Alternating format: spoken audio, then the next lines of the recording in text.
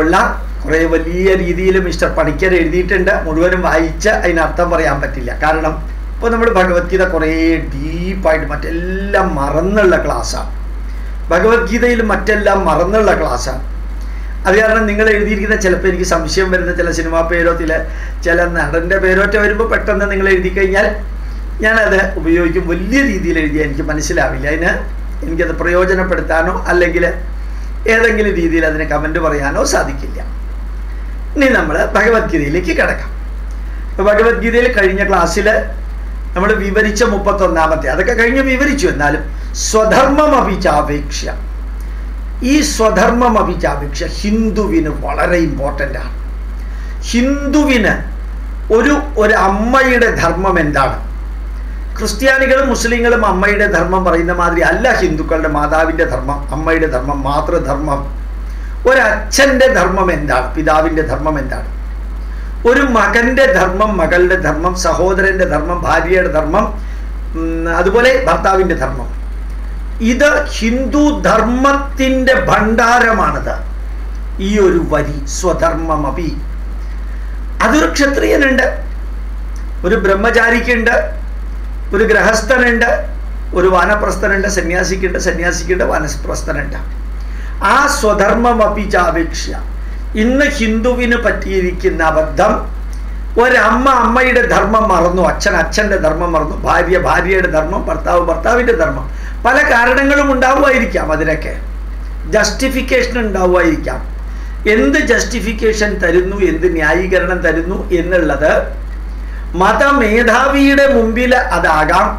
കുംഭസാരിക്കുന്ന സമയത്ത് ഈ അച്ഛന്മാർ കന്യാസ്ത്രീകളും അച്ഛന്മാരുടെ മുമ്പിൽ കന്യാസ്ത്രീകൾ ഉൾപ്പെടെ സകലരും വന്ന് അവരുടെ കുറ്റം ഏറ്റു പറയുമ്പോൾ എന്തുകൊണ്ട് അത് ചെയ്തു എന്ന് പറയേണ്ടത് ചിലപ്പോൾ ആവശ്യമായിരിക്കാം എനിക്ക് അറിഞ്ഞുകൂടാ പക്ഷെ നമ്മൾ സ്വധർമ്മം നമ്മൾ ഡീവിയേറ്റ് ചെയ്തു. അത് നമ്മൾ ധരിച്ചത് ഭാരത സ്വാതന്ത്ര്യം കിട്ടുമ്പോൾ സ്വതന്ത്ര ഭാരതത്തിൽ നമ്മളുടെ ധർമ്മം നമുക്ക് പൂർവാധികം ശക്തിയായിട്ട് തിരിച്ചു കൊണ്ടുവരാൻ സാധിക്കുമെന്ന് വിചാരിച്ചു. ആ ധർമ്മം തിരിച്ചു കൊണ്ടുവരേണ്ട സർദാർ പട്ടേലിനെ കൊന്നു. ലാൽ ബഹദൂർ ശാസ്ത്രി ഇടയ്ക്ക് വെച്ച് കൊന്നു. മഹാത്മാഗാന്ധിയെ കൊന്നത് ആർ എസ് എസ്കാരുടെ തലയിൽ കെട്ടിവെച്ചെങ്കിലും കൊലപ്പെടുത്തുന്നതിന്റെ പുറകിൽ ആരാണ് ഇവരെല്ലാം കൊന്ന് ഉന്മൂലനം ചെയ്ത് സുഭാഷ് ചന്ദ്രബോസിനെ കൊന്നു. ഈ നാടിന്റെ പൈതൃകത്തിന്റെ ചൈതന്യം ഉൾക്കൊണ്ടവരെ കൊന്ന് തമസ്കരിച്ച് ഒരു കുടുംബം ഈ നാടിനെ മുടിപ്പിക്കാനായിട്ട് ഇറങ്ങി പുറപ്പെട്ടപ്പോൾ സ്വധർമ്മം എന്താണെന്ന് നമുക്കറിയാതെ പോയി. നമുക്കെല്ലാം ഭാരതത്തിന്റെ ശരീരവും ഇംഗ്ലണ്ടിലെ മനസ്സും ഉള്ളവരാണ് ഭാരതത്തെ ഭരിച്ചത്. ആ ഇംഗ്ലണ്ടിലെ മനസ്സെന്ന് പറയുന്നത് ഡിവൈഡ് ആൻഡ് റൂൾ ആണ്. ഭാരതത്തെ ഡിവൈഡ് ആൻഡ് റൂൾ ഇന്ന് കേരളത്തിൽ നടക്കുന്നതും അത് തന്നെയാണ്. ഭിന്നിപ്പിച്ച് ഭരിക്കുക. ക്രിസ്ത്യാനിയെ മുസ്ലിമിനെ തമ്മിൽ ഭിന്നിപ്പിക്കുക?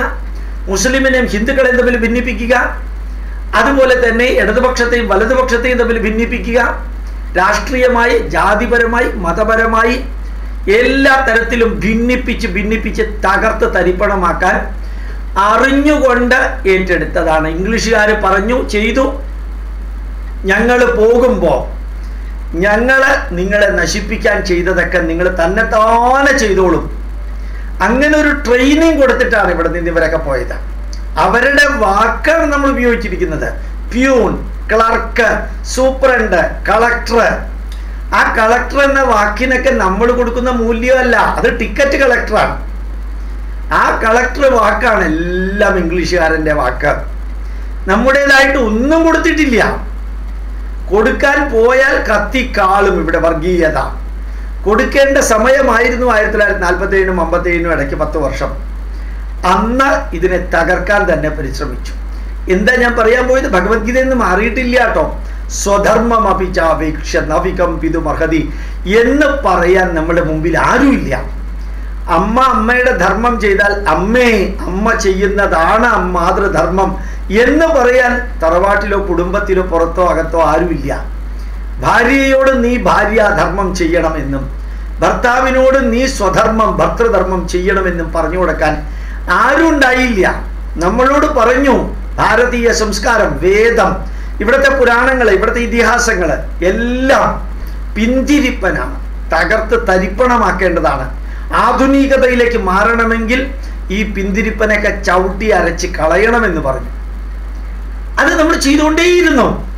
വേദം എന്ന് പറഞ്ഞാൽ ബ്രാഹ്മണർക്കുള്ളതാണ്.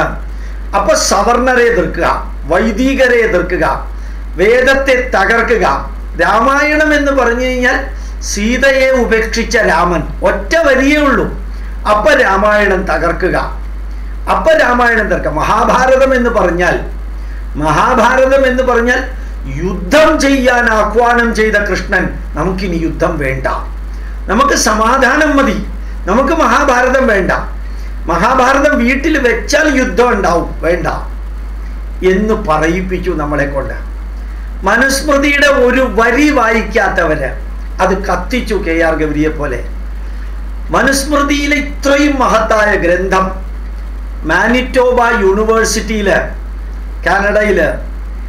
ആഗസ്റ്റ് പതിനഞ്ചിന് ഭാരത സ്വാതന്ത്ര്യ ആഘോഷത്തിന്റെ ചീഫ് ഗസ്റ്റ് ആയിരുന്നു ഞാൻ. അവിടുത്തെ ഓഡിറ്റോറിയത്തിൽ എഴുതി വെച്ചിട്ടുണ്ട്. The first law maker Manu.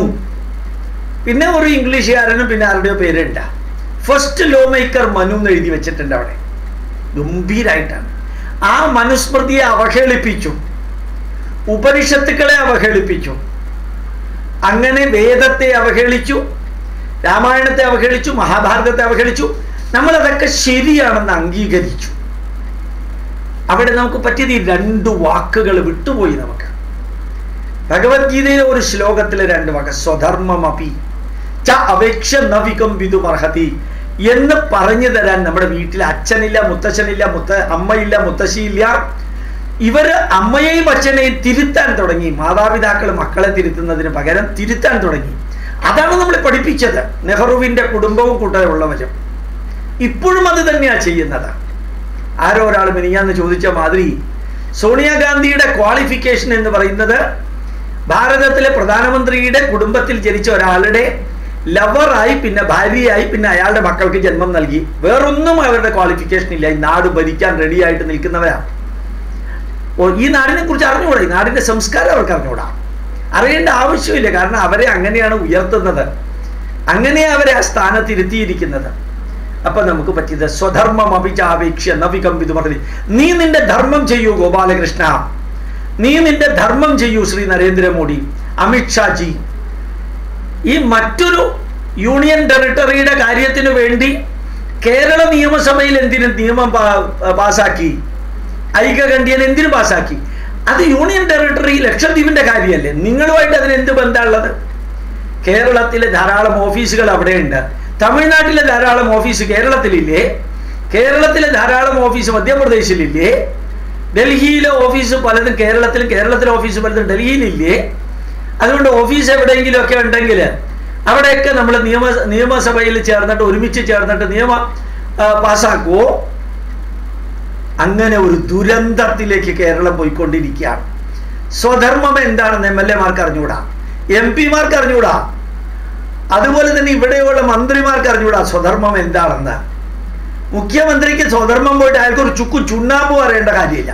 വെറുതെ ശങ്കരൻ നമ്മുടെ ശിവശങ്കരൻ എന്തോ ഒരു പേരിടുകയും കൂടി ചെയ്തിട്ടുണ്ട് ഇപ്പോ ലക്ഷദ്വീപ് അങ്ങ് കലങ്ങി മറിയുന്നത് എന്തിനറിയോ? അവിടെ പ്രോബ്ലം ഒന്നും ഉണ്ടായിട്ടല്ല. ഈ കേരളം കൊറോണ കൊണ്ട് കത്തി ജ്വലിക്കുകയാണ്. മരണത്തിന് ഒരു കണക്കില്ല. അപ്പൊ പത്രമാധ്യമങ്ങളുടെ ശ്രദ്ധ മുഴുവനും ലക്ഷദ്വീപിലേക്ക് ഇട്ടാൽ തൽക്കാലം തടിയൂരാൻ സാധിക്കും. മാത്രം. അല്ലാതെ ലക്ഷദ്വീപും ഇവിടെയായിട്ട് ഒരു ബന്ധമില്ല. അതാണ്. ഭാര്യയെ തല്ലിയോടാ എന്ന് ചോദിച്ചാൽ ഭർത്താവിനോട് പോലീസ് ചോദിക്കുമ്പോൾ ഭർത്താവ് പറയാണ് സർ ഞാൻ ഓഫീസിലായിരുന്നു സർ. എപ്പോഴാണ് ഓഫീസിലായിരുന്നു രാവിലെ തൊട്ട് വൈകുന്നേരം വരെ. നീ തല്ലി എന്ന് പറയുന്ന രാത്രിയാണല്ലോ സർ. ഞാൻ ഓഫീസിലായിരുന്നു സർ. ഞാനൊരു സീനിയർ സൂപ്രണ്ടാണ് സർ. ഞാൻ കേന്ദ്ര ഗവൺമെന്റ് ഓഫീസിൽ വർക്ക് ചെയ്യുന്ന ആളാണ് സർ. ഉത്തരം ഭാര്യയെ തല്ലിയോ എന്നാണ്. അതിനൊന്നും ചോദ്യം ഭാര്യയെ തല്ലിയോ എന്നാണ്. അതിനൊന്നും മറുപടി ഇല്ല.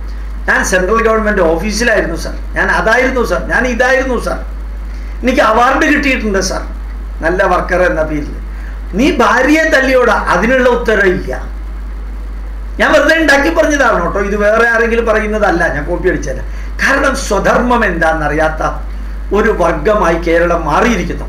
ഞാൻ ഇന്ന് രാവിലെ പറഞ്ഞു മുന്നൂറ് രൂപ കിറ്റിൽ മുസ്ലിങ്ങൾ അതെല്ലാം വാങ്ങിച്ചു. പക്ഷെ അവർക്ക് വേണ്ടപ്പെട്ടവർക്ക് അവർ വോട്ട് ചെയ്തു. മുന്നൂറ് രൂപ കിറ്റ് ക്രിസ്ത്യാനികളെല്ലാം വാങ്ങിച്ചു. എന്നിട്ട് അവർ ജയിപ്പിക്കേണ്ടവരെ ജയിപ്പിച്ചു. മുന്നൂറ് രൂപ കിറ്റ് ഹിന്ദുക്കളും വാങ്ങിച്ചു. എന്നിട്ട് കമ്മ്യൂണിസ്റ്റുകാർ വോട്ട് ചെയ്തു.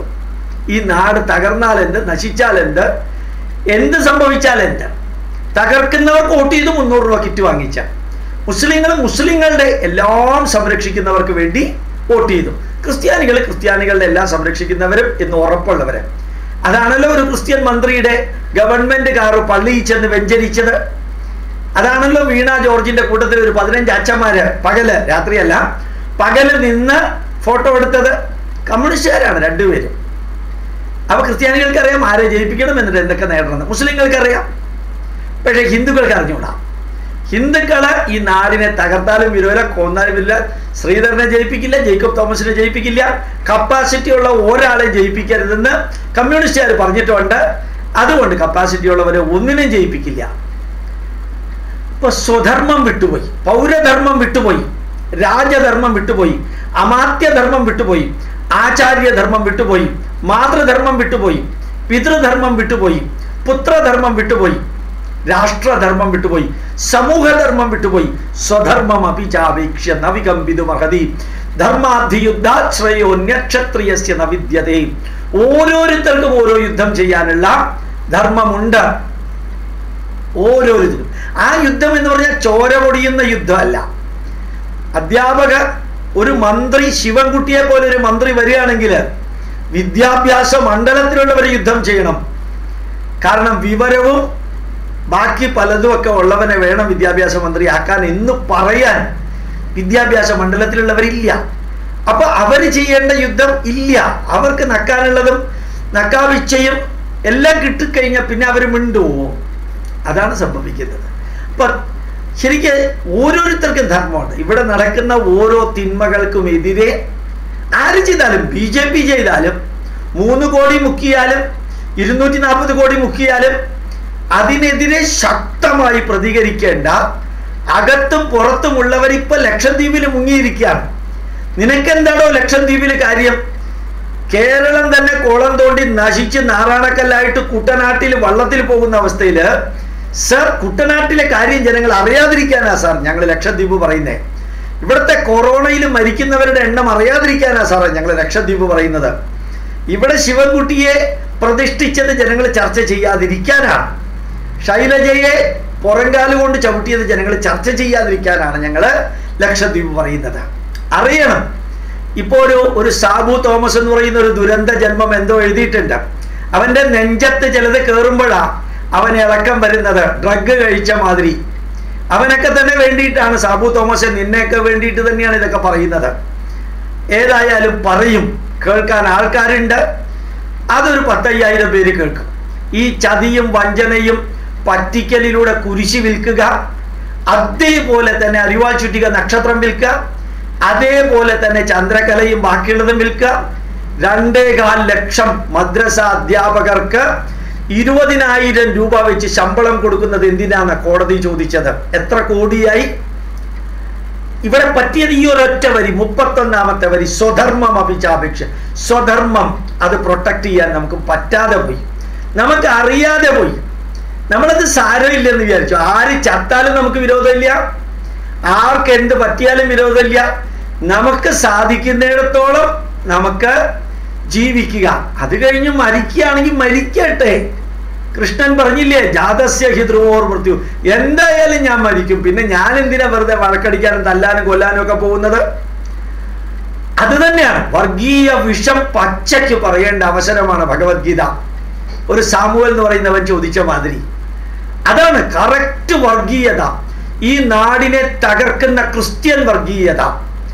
തകർത്ത് ചാമ്പലാക്കുന്ന മുസ്ലിം വർഗീയത.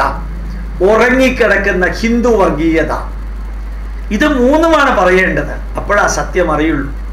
ധർമാബ്ധി യുദ്ധാശ്രയോ നക്ഷത്രിയസ്യ നവിദ്യത ഓരോ തിന്മയ്ക്കുമെതിരെ ധർമ്മം യുദ്ധം ചെയ്യേണ്ട നമ്മൾ നമ്മൾ വേറെ എന്തിലൊക്കെയോ ഉറങ്ങിക്കിടന്നു പോകുന്നു. ഭഗവത്ഗീത പറയുന്നു ഈ ജ്ഞാനയോഗത്തിൽ സാഖ്യയോഗത്തിൽ രണ്ടാം യോഗത്തിൽ എത്ര പ്രാവശ്യമായി കൃഷ്ണൻ പറയുന്നു യുദ്ധം ചെയ്യാനായിട്ട്? തപസ് ചെയ്യാനാ പറഞ്ഞത്. നിരാഹാര സത്യാഗ്രഹിക്കാനാണ് അർജുനനോട് കൃഷ്ണൻ പറഞ്ഞത്. രണ്ടാമത്തെ അധ്യായത്തിൽ കൃഷ്ണൻ വായ തുറക്കുന്നത് യുദ്ധം ചെയ്യാൻ തന്നെ പറഞ്ഞുകൊണ്ടാണ് ആ യുദ്ധം ചെയ്യാൻ നമ്മളെ പഠിപ്പിച്ചില്ല. നമ്മളെ പരിചയിപ്പിച്ചില്ല. അങ്ങനെ വല്ലതും പറഞ്ഞാൽ നമ്മൾ നമ്മൾ ഭയങ്കര നെഗറ്റീവുകളാവും. ഏതായാലും എതിർച്ചയാ ലവസന്തുഷ് എതിർച്ചയാ ചോപപന്നം സ്വർഗദ്വാരമപാവൃതം സുഖിന ക്ഷത്രിയ പാർത്ത ലബന്തേ രുദ്രമീതൃദൃശ്യം ഈ ക്രിട്ടിക്കൽ കണ്ടീഷനിൽ ശബരിമലയിലെ പ്രശ്നങ്ങൾ വന്നപ്പോൾ ഹിന്ദു സട കൊടന്ന് എഴുന്നേറ്റു. പ്രവർത്തിച്ചു. എപ്പോഴും ശബരിമലയില്ല. എപ്പോഴും ഗുരുവായൂർ ഗുരുവായൂരമ്പലത്തിലെ പത്ത് ഇല്ല എപ്പോഴും ഇതുമാതിരി തന്നെയുള്ള മദ്രസ അധ്യാപകരുടെ കോടതി വിധികൾ വരില്ല. എപ്പോഴും ഇഷ്യൂ വരില്ല. പക്ഷെ ഒന്ന് നോക്കാം. ഈ ഈ ലക്ഷദ്വീപിലെ സംഭവത്തിനെ ശരിക്ക് അടിച്ച് തകർത്ത് തരിപ്പണമാക്കിയത് ഹിന്ദുക്കളാണ് സോഷ്യൽ മീഡിയയിലൂടെ. ഒരക്ഷരം മിണ്ടാൻ പറ്റാത്ത വിധത്തിൽ ഇവിടുത്തെ സാംസ്കാരിക നായകൾ പണ്ടേ ചത്തു. പുരോഗമനവാദികളുടെ പതിനാറ് കഴിഞ്ഞു. പിന്നെ ഉള്ളത് സൈബർ ഗുണ്ടകളാണ്. പിന്നെ ഉള്ളത് നിയമസഭയിൽ ഇടതുപക്ഷവും വലതുപക്ഷവും ഒരുമിച്ച് ചേർന്നിട്ടാണ്. സാബു തോമസിനെ പോലെയുള്ള കുറെ എണ്ണങ്ങൾ. അപ്പൊ യഥാർത്ഥത്തിൽ കലക്കി അടിച്ചു പൊളിക്കാൻ സോഷ്യൽ മീഡിയ ഉപയോഗിക്കാൻ സാധിച്ചു. അതാണ് ഭഗവത്ഗീതയിൽ പറയുന്നത്. സുഖിന ക്ഷത്രിയ യുദ്ധം ഈ ദൃശ്യം ഇങ്ങനെ ഇന്റലക്ച്വൽ യുദ്ധം ചെയ്യാനുള്ള അവസരം നമുക്ക് എപ്പോഴും കിട്ടിയെന്ന് വരില്ല. ലഭിക്കുന്ന സമയത്ത് അടിച്ചു പൊളിച്ച് തകർക്കുക. അതിന്ന് സംഭവിക്കുന്നുണ്ട്. അക്ഷരാർത്ഥത്തിൽ സംഭവിക്കുന്നുണ്ട്. സർവൈവൽ ഓഫ് ദ നോബ്ലസ്റ്റ് അതാണ് ഭാരതത്തിൽ എന്ന് നടന്നത്. ഹിന്ദു ധീരൻ ആയാൽ തീർച്ചയാണ്. അടിയന്തരാവസ്ഥ കഴിഞ്ഞിട്ട് നടന്ന ഇലക്ഷനിൽ ജനതാ പാർട്ടി വന്നു. പിന്നെ അവർക്ക് കപ്പാസിറ്റി ഇല്ലാതെ പോയി. ആദ്യത്തെ പ്രാവശ്യം നരേന്ദ്രമോദി വന്നു ഫുൾ മെജോറിറ്റി കിട്ടിയില്ല. ഇപ്പൊ വീണ്ടും വന്നു ഒറ്റയ്ക്ക് മെജോറിറ്റി കിട്ടി. ഇനി ഉത്തർപ്രദേശിലെ പ്രതിപക്ഷങ്ങളെല്ലാം ബി ജെ പിയുമായിട്ട് ചേരാൻ പോവുകയാണെന്നൊരു വാർത്ത മിനിയാന്ന് കേട്ടു. സത്യമാണെന്ന് അറിഞ്ഞൂടാ. ഈ ഭാരതത്തിൽ ഭാരതത്തെ കുറിച്ച് ചിന്തിക്കുന്ന സകലരെയും ഒരുമിച്ച് കൊണ്ടുവരണം. അടുത്ത പ്രാവശ്യത്തെ ഇലക്ഷനോട് കൂടി ഭാരതം ശുദ്ധീകരിക്കപ്പെടണം. അതാണ് യുദ്ധം. അതാണ് നമ്മുടെ മുമ്പിലുള്ള യുദ്ധം. ആര് തിന്മ ചെയ്താലും ഇടതുപക്ഷം ചെയ്താലും വലതുപക്ഷം ചെയ്താലും മധ്യപക്ഷം ചെയ്താലും തകർത്ത് തരിപ്പണമാക്കാനുള്ള യുദ്ധ മനസ്സുണ്ടാവണം അത് ആയുധം കൊണ്ടോ മിസൈൽ കൊണ്ടോ അല്ലെങ്കിൽ ബോംബ് കൊണ്ടോ ഉള്ള യുദ്ധമല്ല. അത് ഇന്റലക്ച്വൽ യുദ്ധം. മത തീവ്രവാദികളോട് മതത്തിന്റെ ഭാഷയിൽ കുരിശ് കച്ചവടക്കാരോട് കുരിശിന്റെ ഭാഷയിൽ അരിവാൾ ചുറ്റിക കൊണ്ടുവന്ന് കമ്മ്യൂണിസം പ്രചരിപ്പിക്കുന്നവരോട് ആ ഭാഷയിൽ. ഭാരതത്തിന്റെ സംസ്കാരത്തെ കച്ചവട ചരക്കാക്കുന്ന ആത്മീയ നേതാക്കന്മാരോട് ആ ഭാഷയിൽ സംസാരിക്കണം. അതാണ് സുഖിന ക്ഷത്രിയ പാർത്ത എന്താ ഇതിന്റെ അർത്ഥം? ധർമ്മത്തിന്റെ വിജയം കണ്ട് സന്തോഷിക്കാൻ ആഗ്രഹിക്കുന്ന വ്യക്തികൾക്ക് ധർമ്മത്തിന്റെ വിജയം കണ്ട് സന്തോഷിക്കാൻ ആഗ്രഹിക്കുന്ന വ്യക്തികൾക്ക് ഇപ്രകാരമുള്ള അവസരങ്ങൾ ലഭന്തേ യുദ്ധമീദൃശം. വളരെ വിരളമായിട്ട് ഇതുമാതിരിയുള്ള അവസരങ്ങൾ കിട്ടുള്ളൂ. എന്ത് കിടിലൻ വാക്കുകളല്ലേ? എന്ത് കിടിലൻ വാക്കുകളാണ്? അതാണ് എതിർച്ചയാ ചോപപന്നം യാദൃച്ഛികമായിട്ട് നമുക്ക് ഇതുമാതിരിയുള്ളതൊക്കെ കിട്ടുള്ളൂ. ഒന്ന് നോക്കാം നിയമസഭ ഐകകണ്ഠ്യേന പാസാക്കി ലക്ഷദ്വീപ്. അവിടെ നിന്ന് എടുത്തു അലി അക്ബർ ഉൾപ്പെടെ എല്ലാ നേതാക്കളും പി സി ജോർജ് ഉൾപ്പെടെ മുരളീധരൻ ഉൾപ്പെടെ അങ്ങനെ നമ്മുടെ നമ്മുടെ സന്ദീപ് വാചസ്പതി ഉൾപ്പെടെ സന്ദീപ് വാര്യർ ഉൾപ്പെടെ എല്ലാവരും ഒരൊറ്റ ശബ്ദത്തിൽ എൽ ഡി എഫും യു ഡി എഫും ഒരുമിച്ച് ചേർന്ന് അവരുമായിട്ട് ഒരു ബന്ധവും ഇല്ലാത്ത ലക്ഷദ്വീപ് അവരുമായിട്ട് ഒരു ബന്ധവുമില്ലാത്ത കർഷക സമരം. അവരുമായിട്ട് ഒരു ബന്ധവുമില്ലാത്ത ജമ്മു കാശ്മീരിലെ മുന്നൂറ്റി എഴുപതാം വകുപ്പ്. അവരുമായിട്ട് ഒരു ബന്ധവുമില്ലാത്ത മദനിയുടെ പരിപാടി. അതിനൊക്കെ ഐകകണ്ഠ്യേന പാസാക്കിയപ്പോ അങ്ങനെയുള്ള അവസരങ്ങൾ വിരളമായിട്ടേ വരുള്ളൂ. എതിർച്ച ചോപപന്നം സ്വർഗദ്വാരമപാവൃതം. അതാണ് സംഭവം. അതുകൊണ്ട് നിങ്ങളോട് പറയും ഓരോ അവസരവും ഉപയോഗിക്കാം.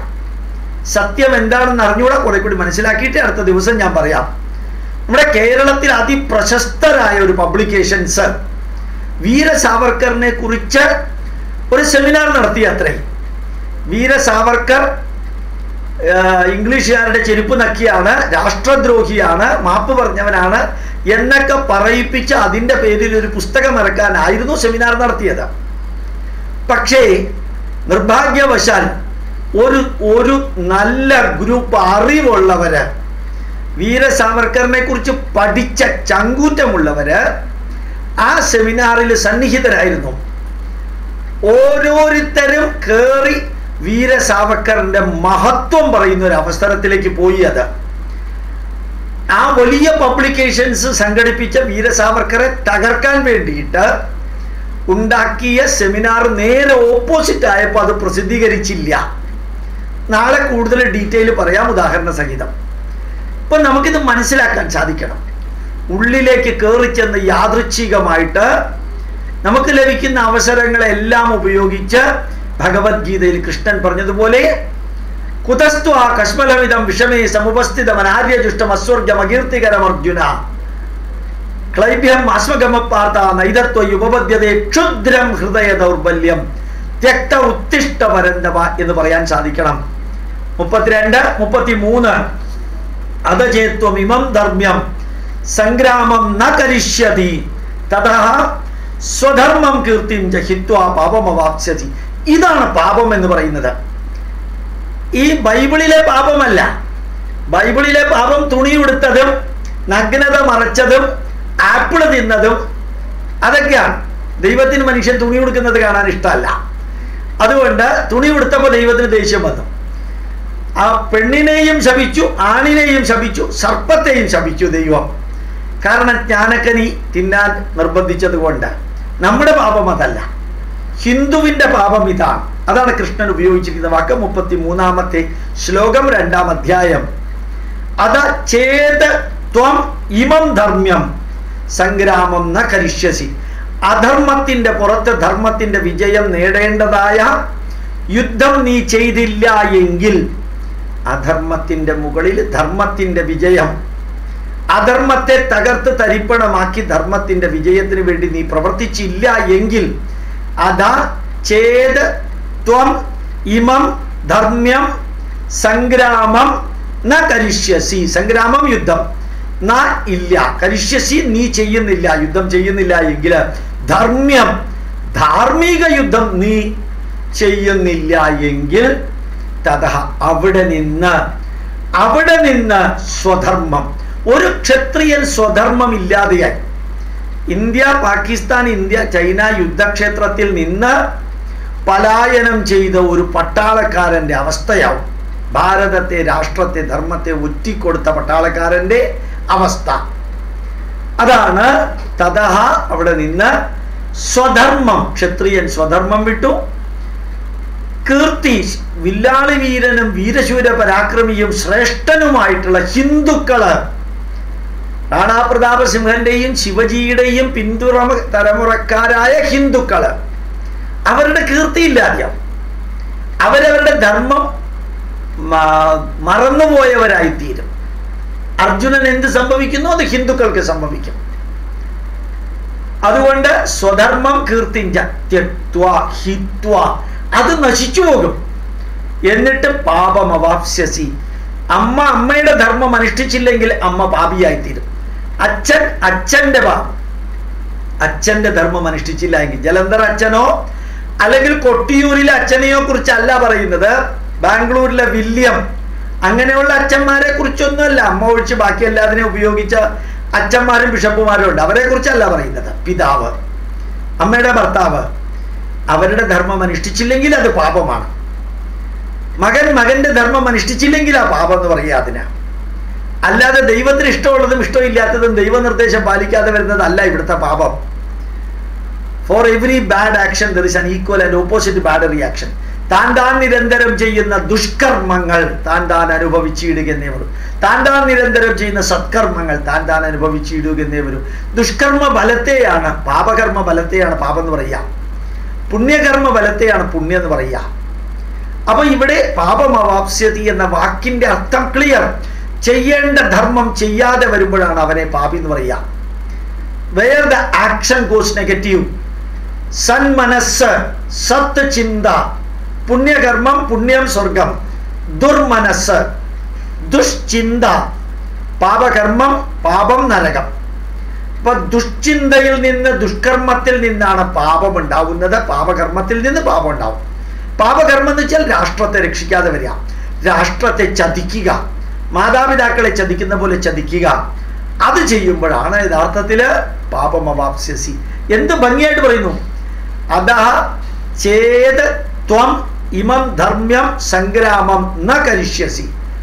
ഈ ധാർമ്മിക യുദ്ധത്തിൽ നീ യുദ്ധം ചെയ്തില്ല എങ്കിൽ അർജുന നിന്നെ പ്രകൃതി ചെയ്യിപ്പിക്കുമെന്നുള്ളതൊക്കെ പിന്നീട് കൃഷ്ണൻ പറഞ്ഞതാ. നീ ചെയ്യാതെ നിനക്ക് ഒളിച്ചോടാൻ സാധിക്കില്ല എന്ന് പിന്നീട് കൃഷ്ണൻ പറഞ്ഞു. ഇപ്പൊ പറയുന്നത് നിന്റെ ധർമ്മം നീ ചെയ്തില്ലെങ്കിൽ തീർച്ചയായിട്ടും നീ പാപിയായി തീരും നിന്റെ കീർത്തി ഇല്ലാതെയാകും. Fame name and fame will dissolved out നിന്റെ പേരും പ്രസിദ്ധിയും എല്ലാം തകർന്ന് തരിപ്പണമാകും അർജുന. വെറുതെ പാപം മാത്രമല്ല നിന്റെ പേര് പാണ്ഡവരിൽ അർജുനൻ ശ്രേഷ്ഠനാണ് എന്നുള്ള പേരൊക്കെ ഡിസോൾവ് ഔട്ട് ഇല്ലാതെയാവും. അടുത്തത് അകീർത്തിം ചാപി ഭൂതാനി കഥയിഷ്യന്തി തേ അവ്യയാം. തേ അവ്യയാം. ഈ ശ്രേഷ്ഠന്മാരായ വ്യക്തികൾക്ക് ശ്രേഷ്ഠന്മാരായ വ്യക്തികൾക്ക് ശ്രേഷ്ഠന്മാരായ ജീവികൾക്ക് നിങ്ങൾ നോക്കൂ ഭൂതാനി മനുഷ്യന് മാത്രമല്ല. നിങ്ങൾ നോക്കൂ ഒരു പട്ടിയെ വാങ്ങിച്ച് ആ പട്ടിയുടെ നല്ല ഗുണങ്ങളും പട്ടിയുടെ ചീത്ത ഗുണങ്ങളും ആദ്യത്തെ ദിവസം മനസ്സിലായി കഴിഞ്ഞാൽ പിന്നെ ആ പട്ടി രാത്രി മുഴുവനും കുറയ്ക്കണ പട്ടിയായത് എന്നൊരു വാക്കാണ്. പിന്നെ പട്ടിക്ക് ആ ചീത്ത പേരുണ്ടാവും. മാവ് കണ്ടിട്ടില്ലേ? മാവ്?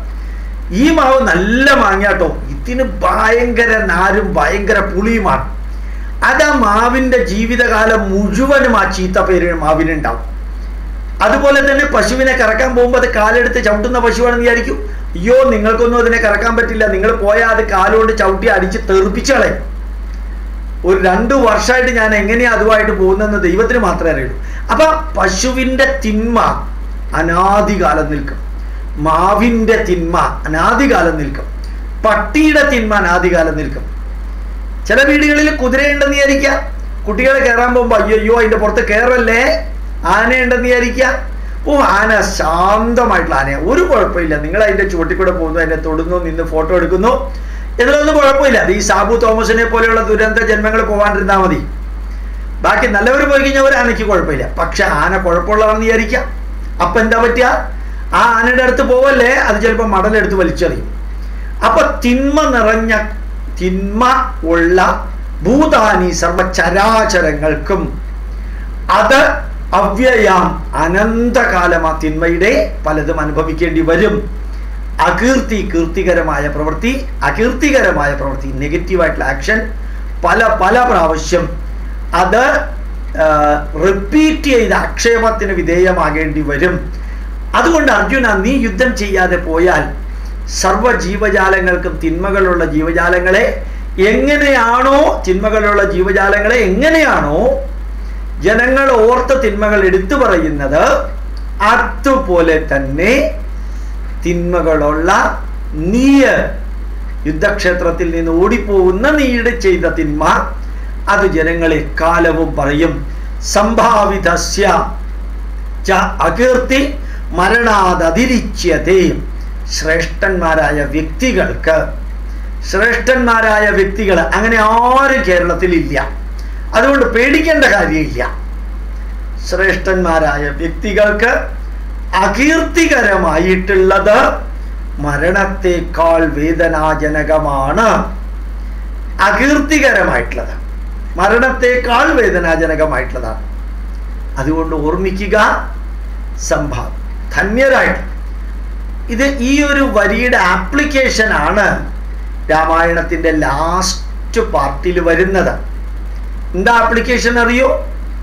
ശരിക്ക് ആ ലക്ഷ്മണനെ ഉപേക്ഷിക്കാൻ ലക്ഷ്മണനെ കൊല്ലാനാണ് യഥാർത്ഥത്തിൽ യമധർമ്മരാജാവോ ദുർവാസാവോ തമ്മിലുള്ള ഡിസ്കഷനിലൊക്കെ ആയിട്ട് വരുന്നത്. പക്ഷേ ആ ലക്ഷ്മണനെ കൊല്ലുന്നതിന് പകരം അധിക്ഷേപിച്ച് അങ്ങോട്ട് ഉപേക്ഷിക്കാൻ പറയാ അത് മരണത്തെക്കാൾ ഭീകരമാണ് ലക്ഷ്മണന്.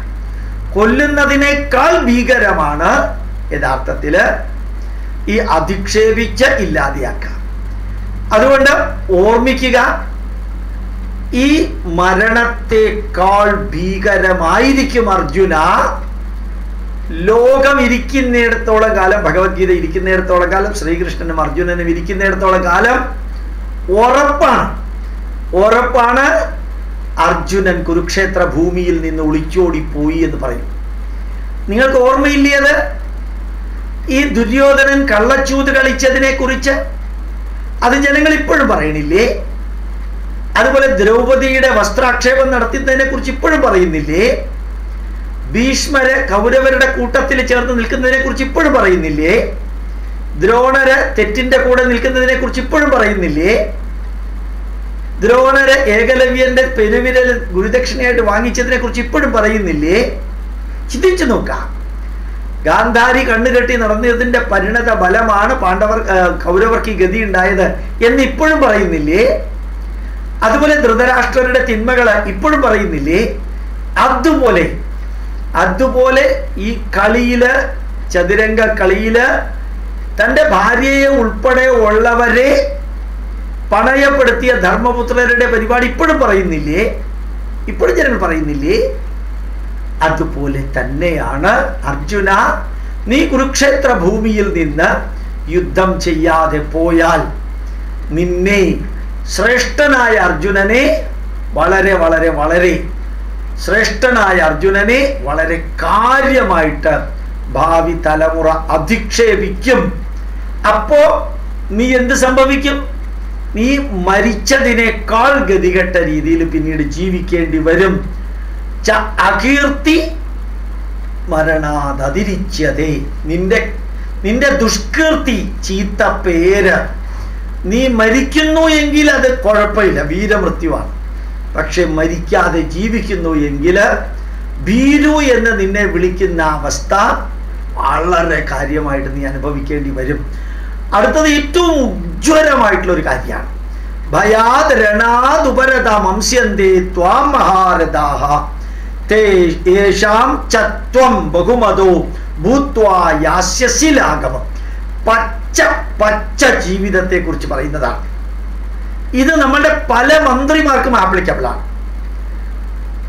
അത് സെക്രട്ടറിമാർക്ക് ആപ്ലിക്കബിൾ ആണ്. ഇവർ ഇവർ ഭരണാധികാരികൾക്കെല്ലാം ആപ്ലിക്കബിൾ ആയിട്ടുള്ള ഒരു വരിയാണ്. രണ്ടാമത്തെ പാർട്ട് പ്രത്യേകിച്ചു.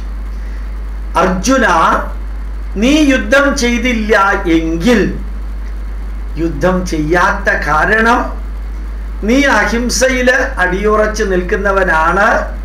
അല്ലെങ്കിൽ നിന്നെ കൊന്നാലും വിരോധമില്ല. ബന്ധുക്കളെയും ആചാര്യന്മാരെയും കൊല്ലാൻ നിനക്ക് താല്പര്യമില്ല എന്നൊന്നും ജനങ്ങൾ വിചാരിക്കില്ല. നിന്റെ വലിയ മനസ്സാണ്. നിന്റെ അഹിംസാവാദമാണ്. നിനക്കൊന്നും ജീവിതത്തിൽ വേണ്ട എന്ന് പറഞ്ഞെല്ലാം ത്യജിക്കാൻ തയ്യാറായവനാണ്. അങ്ങനെ ഒന്നും ലോകം ചിന്തിക്കില്ല. ലോകം പറയുന്നത് ഒറ്റ കാര്യമായിരിക്കും. അർജുനൻ യുദ്ധം ചെയ്യാതിരിക്കാനുള്ള കാര്യം അർജുനന്റെ മഹത്വമാണ് നല്ല മനസ്സാണ് നന്മ നിറഞ്ഞ വീക്ഷണമാണ് എന്നൊന്നും ആരും ചിന്തിക്കില്ല. മറിച്ച് ഭയാദ്രണാതുപരത മംസ്യന്തേ ത്വാം മഹാരഥാഹ. ത്വാം മഹാരഥ നീ മഹാരഥനാണ് എന്ന് ഇത്രയും കാലം പറഞ്ഞു നടന്നവരെല്ലാം തിരിച്ചു പറയും അർജുന നീ യുദ്ധക്ഷേത്രത്തിൽ നിന്ന് ഓടിപ്പോകാൻ കാരണം നീ ഭയപ്പെട്ടു പോയി. കൗരവ സൈന്യത്തെ കണ്ട് അപ്പുറത്തുള്ള വില്ലാളി വീരന്മാരെ കണ്ട് നീ ഭയപ്പെട്ടത് കൊണ്ടാണ് യുദ്ധക്ഷേത്രത്തിൽ നിന്ന് ഓടിപ്പോയത് എന്ന് സമൂഹം പറയും അർജുന. സമൂഹം നിന്റെ മാനസികാവസ്ഥയും ദുഃഖവും വേദനയും ഒന്നും ചർച്ച ചെയ്യില്ല. നീ യഥാർത്ഥത്തിൽ യഥാർത്ഥത്തിൽ യുദ്ധം ചെയ്യാതെ രഥം തിരിച്ചെടുത്ത് നീ യുദ്ധക്കളത്തിൽ നിന്ന് പോയാൽ അർജുനൻ പേടിച്ചു വറങ്ങലിച്ചാണ് യുദ്ധക്കളത്തിൽ നിന്ന് പോയത് എന്ന് പറയും. യേഷാം ചത്വം ബഹുമതോ. ആരുടെ എല്ലാവരുടെയും മുമ്പിൽ നീ ഏറ്റവും ബഹുമാന്യനും ശ്രേഷ്ഠനുമായിരുന്നുവോ? ആരുടെ എല്ലാം മുമ്പിൽ നീ ശ്രേഷ്ഠനും ബഹുമത ബഹുമാന്യനുമായിരുന്നുവോ? അവരുടെ എല്ലാം മനസ്സിലും അവരുടെ എല്ലാം മുമ്പിലും ഭൂത്വാശ്യസി ലാഘവം. നീ ചീപ്പായി തീരും. നീ സില്ലി പേഴ്സണാലിറ്റി ആയി തീരും. You will become a cheap and silly personality no way you are eligible for respect and honour നിന്നെ ബഹുമാനിക്കാനും സ്നേഹിക്കാനും ഒരു തരത്തിലും യോഗ്യത ഇല്ലാത്തവനായി നീ തീരും. നീ യുദ്ധം ചെയ്യാതെ പോയാൽ. ഇത് ശ്രേഷ്ഠന്മാർക്ക് എല്ലാവർക്കും ആപ്ലിക്കബിൾ ആണ്. എല്ലാവർക്കും ആപ്ലിക്കബിൾ ആണ്. ഇന്നത്തെ രാഷ്ട്രീയ മണ്ഡലത്തിൽ എത്ര അവഹേളിക്കപ്പെട്ടാലും ഒന്നും അവർക്ക് ഒരു ബോധറേഷനില്ല പണ്ടങ്ങനെയല്ല. പണ്ടങ്ങനെയൊന്നുമില്ല. സീതാദേവിക്കെതിരെ ഒരു അലക്കുകാരൻ പറഞ്ഞപ്പോൾ പോലും ഒരു രാജാവ് സീതാദേവിയെ നിലനിർത്തിയില്ല. വ്യക്തിധർമ്മത്തെക്കാൾ രാഷ്ട്രധർമ്മം വ്യക്തികളുടെ ജീവിതത്തെക്കുറിച്ച് മറ്റുള്ളവർ അഭിപ്രായം പറയുന്നതിനേക്കാൾ രാഷ്ട്രമണ്ഡലത്തിൽ പ്രവർത്തിക്കുന്ന വ്യക്തികളെ കുറിച്ച് ജനങ്ങൾ അഭിപ്രായം പറഞ്ഞാൽ അതിന് മൂല്യം വളരെ കൂടുതലുണ്ട്. അതുകൊണ്ട് അല്ലയോ അർജുന നീ യുദ്ധക്ഷേത്രത്തിൽ നിന്ന് ഓടിപ്പോയാൽ നിന്നെ ബഹുമാനിച്ചു കൊണ്ടിരിക്കുന്നവരൊക്കെ പറയും അർജുനൻ യുദ്ധക്ഷേത്രത്തിൽ നിന്ന് ഓടിപ്പോകാൻ കാരണം യുദ്ധത്തിൽ മരിക്കും അല്ലെങ്കിൽ തോൽക്കും പരാജയപ്പെടും വളരെ വളരെ ദുഃഖകരമായ അന്ത്യം യുദ്ധത്തിൽ ഉണ്ടാവും എന്ന് ഭയപ്പെട്ടുകൊണ്ട് തന്നെയാണ് അർജുനൻ പിന്തിരിഞ്ഞോടിയത് എന്ന് പറയും. അങ്ങനെ വില്ലാളി വീരനും വീരശൂരപരാക്രമിയുമായ ഏതൊരു വ്യക്തിക്കും ഇപ്രകാരം അവഹേളനത്തിന് വിധേയമാകേണ്ടി വരികയാണെങ്കിൽ ആ അവഹേളനം കഴിഞ്ഞതിന് ശേഷം അങ്ങനെയുള്ള മനുഷ്യരെ ആരും വിലവയ്ക്കില്ല. നിങ്ങളൊന്ന് ആലോചിച്ചു നോക്കൂ. T N Seshan. എന്തായിരുന്നു? ലോക ജനത ഞെട്ടി വറച്ചതാണ് ഇലക്ഷൻ കമ്മീഷൻ എന്നുള്ള രീതിയിൽ പക്ഷേ മറ്റാര് സപ്പോർട്ട് ചെയ്യാതെ അവസാനം ശിവസേനയുടെ ഒരു പത്ത് രണ്ടായിരം വോട്ടിന് വേണ്ടി പ്രസിഡന്റ് ഓഫ് ഇന്ത്യ കാൻഡിഡേറ്റ് ആയിട്ട് നിന്നു. അവസാനം തോറ്റു. രണ്ടായിരം വോട്ട് മറ്റുള്ളതൊക്കെ ഒന്നര രണ്ട് ലക്ഷം വോട്ടാണ് ജയിച്ചവർക്ക്. അതോടുകൂടി ടി എൻ ശേഷൻ ഒന്നും അല്ലാതെയായി അതോടുകൂടി ടി എൻ ശേഷൻ ഒന്നുമല്ലാതെ ജയ്പാൽ റെഡ്ഡി എന്ന് പറഞ്ഞൊരു ഒരു പോളിയോ വന്നൊരു മനുഷ്യനുണ്ട്. കോൺഗ്രസ്സിലോ മറ്റോ ഉണ്ടായിരുന്നു അയാൾ. അയാൾ ഒന്നും അല്ലാതെയായി അയാളൊക്കെ നശിച്ചുപോയി കാരണം എന്ത് ചങ്കൂറ്റമുള്ള വാക്കുകളായിരുന്നു. ഒരു എൺപത്തിയേഴ് ദിവസം ചിദംബരം ജയിലിൽ കിടന്നപ്പോ പിന്നെ ചിദംബരത്തിന് പണ്ടത്തെ യാതൊന്നുമില്ല. അദ്ദേഹം പ്രധാനമന്ത്രി കാൻഡിഡേറ്റ് വരെ ആവേണ്ടതാണ്. ത്രസിച്ച് വില്ലാളി വീരനായി വന്ന വ്യക്തിയല്ലേ നമ്മളുടെ സിനിമാ നടൻ? ദിലീപ് എന്തൊക്കെയോ ചതിച്ചതോ എന്തിലൊക്കെയോ ചെന്നപ്പെട്ടു ഇപ്പൊ ഒന്നുമല്ലാതെ ആയില്ലേ ഒന്നുമല്ലാതെ ആയില്ലേ വെറുതെ ചിന്തിച്ചു നോക്ക. അപ്പോ സമൂഹത്തിന്റെ മനസ്സിനകത്ത് നിറഞ്ഞു തുളുമ്പുന്ന വ്യക്തികൾക്ക് ഏതെങ്കിലും വിധത്തിലുള്ള തിന്മകൾ സംഭവിച്ചാൽ ആ തിന്മകൾ ഉപയോഗിച്ച് മാനവരാശി അയാളെ കളിയാക്കും അവഹേളിക്കും വളരെ വളരെ ചീപ്പായിട്ട് അവനെ കുറിച്ച് അയാളെ കുറിച്ച് സംസാരിക്കും. അടുത്തൊരു വരി മുഴുവനും പറയുന്നില്ല. അടുത്ത ദിവസം വീണ്ടും പറയും. അവാച്യ വാദാംശ ബഹൂൻ വധിഷ്യന്തി തവാഹിതാഹ നിന്ദന്തസ്തവ സാമർത്ഥ്യം തതോ ദുഃഖതരം നുക്കിം ഒരു മണിക്കൂർ പറയാനുണ്ട് ഈ ഒരൊറ്റ വരി. വാക്കിന്റെ അർത്ഥം മാത്രം ഇപ്പൊ പറയാം. അവാച്യവാദാംശ. നിന്നെ കുറിച്ച് അർജുന നിന്നെ കുറിച്ച് ഒരിക്കലും ഒരിക്കലും ഒരിക്കലും പറയാൻ പാടില്ലാത്ത ശ്രേഷ്ഠനായ ധീരനായ വിലാളി വീരനായ അർജുന നിന്നെ കുറിച്ച് ഒരിക്കലും പറയാൻ പാടില്ലാത്ത വാക്കുകൾ മറ്റുള്ളവർ നിന്നെ കുറിച്ച് പറയും. അവാച്യവാദാംശ ബഹൂൻ ധാരാളം വ്യക്തികൾ പറയും. വധിഷ്യന്തി പറയും ഭാവിയിൽ ഫ്യൂച്ചർ ടെൻസാണ് ബഹൂൻ വധിഷ്യന്തി. ധാരാളം വ്യക്തികൾ നിനക്ക് എതിരായിട്ടുള്ളത് പറയും. തവ അഹിതാഹ. നിനക്ക് ഒരിക്കലും ചേരാത്തത്. നിന്നെ അവഹേളിക്കുന്നത് നിന്നെ കളിയാക്കുന്നത് നിന്നെ ഇടിച്ച് താഴ്ത്തുന്ന തകർക്കുന്ന പലതും നിനക്കെതിരായിട്ട് വളരെയധികം വ്യക്തികൾ പറയും. നിന്ദന്തസ്തവ സാമർത്ഥ്യം നിന്റെ സാമർത്ഥ്യത്തെ നിന്ദിക്കും. തതോ ദുഃഖതരം നുഖിൻ. അതിനേക്കാൾ ദുഃഖകരമായിട്ട് എന്താ ഉള്ളത് അർജുന? വില്ലാളി വീരനും വീരശൂര പരാക്രമിയും ശിവനെ പ്രത്യക്ഷപ്പെടുത്തിയിട്ട് പാശുപതാസ്ത്ര ഗാന്ധീവം കയ്യിൽ വെച്ചിരിക്കുന്നവർ. കൃഷ്ണന്റെ സുഹൃത്ത്. എല്ലാവിധ യുദ്ധ മുറകളും അറിയാവുന്ന ശസ്ത്രവും ശാസ്ത്രവും അറിയാവുന്ന അർജുനൻ ലോകത്തിന്റെ മുമ്പിൽ അവഹേളിതനാകും. അപകീർത്തികരമായിട്ടുള്ളത് ഒരാളല്ല എല്ലാവരും പറയും. ഒരൊറ്റ കാരണം എന്താ കാരണം? സേനയോർ ഉഭയോർ മധ്യേ രഥം സ്ഥാപയമേച്ചുത. രണ്ട് സേനകളുടെ നടുക്ക് നിൽക്കുന്ന അർജുനൻ രഥത്തിൽ നിന്നിറങ്ങി ഈ യുദ്ധക്കളം വിട്ട് പലായനം ചെയ്യുന്നു. ഓടുന്നോ നടക്കുന്നോ എന്നുള്ളത് പ്രശ്നമില്ല. ഞാൻ യുദ്ധം ചെയ്യില്ല എന്ന് പറഞ്ഞ് യുദ്ധക്കളം വിട്ടുപോകുന്ന ആ അർജുനനെ കുറിച്ച് ബാക്കി അർജുനന്റെ ക്വാളിഫിക്കേഷൻ ഒക്കെ നിങ്ങൾക്ക് അറിയാം ശരിക്ക് ശരിക്ക് കത്തി കാളിക്കൊണ്ട് പറയും. വളരെ മോശമായ രീതിയിൽ അർജുനനെ കുറിച്ച് പറയും. അതുകൊണ്ട് അർജുന നിനക്ക് തീരുമാനിക്കാം എന്താ വേണ്ടത് എന്ന്. അതുകൊണ്ട് ഓർമ്മിക്കുക എന്നും എന്നും ചിന്തിക്കുക. അർജുനനെ എങ്ങനെയാണ് കൃഷ്ണൻ കൺവിൻസ് ചെയ്തത്? ഇതേപോലെ വേണം. ഈ നാടിനെ തകർക്കുന്ന കുരിശ് കച്ചവടക്കാർക്ക് മറുപടി കൊടുക്കാൻ. ഈ നാടിനെ തകർക്കുന്ന ഇവിടെ ഓരോ വ്യക്തിയും തകർക്കുന്ന ജിഹാദികൾക്ക് മറുപടി കൊടുക്കാൻ. പഠിച്ചു മറുപടി കൊടുക്കണം. ഉള്ളിൽ നിന്ന് ഉള്ളിൽ നിന്ന് എടുത്ത് മറുപടി കൊടുക്കണം. അതാണ് നമുക്ക് ചെയ്യാൻ സാധിക്കുന്നത്. ഭഗവത്ഗീതയെ ഭാഗവതത്തെ ഭാരതീയ പൈതൃകത്തെ വേദത്തെ ഒക്കെ തകർത്ത് തരിപ്പണമാക്കി ഒരു രണ്ടായിരം വർഷങ്ങൾക്ക് മുമ്പ് എഴുതിയ പുസ്തകം ഇപ്പൊ ആർക്കും വേണ്ട. അങ്ങനെയുള്ള പുസ്തകത്തെ ഗ്ലോറിഫൈ ചെയ്യാൻ അങ്ങനെയുള്ള മതത്തെ ഗ്ലോറിഫൈ ചെയ്യാൻ കിട്ടാവുന്നതിനെ എല്ലാത്തിനും എടുത്ത് സ്വന്തമാക്കാം. പറയാൻ പാടില്ലാത്ത ഒരു വരി പറഞ്ഞാൽ നമ്മുടെ ഭാര്യയ്ക്ക് ഭംഗിയില്ല. അതുകൊണ്ട് മറ്റുള്ളവന്റെ ഭാര്യയുടെ പുറകെ പോവുക അതാണ്. ഭാഗവതം അടിച്ചു മാറ്റുക വിഷു ഓണം അതുപോലെ തന്നെ ദീപാവലി അതുപോലെ തന്നെ വിജയദശമി പിന്നെ എല്ലാ പുസ്തകങ്ങളും ഗ്രന്ഥങ്ങളൊക്കെ അടിച്ചു മാറ്റുക. കാവ്യെടുക്കുക അതുപോലെ രുദ്രാക്ഷം ധരിക്കുക അച്ഛന്മാരെ പള്ളിത്തന്തമാരെയൊക്കെ വൈദികരെന്ന് വിളിക്കുക പുരോഹിതരെന്ന് വിളിക്കുക.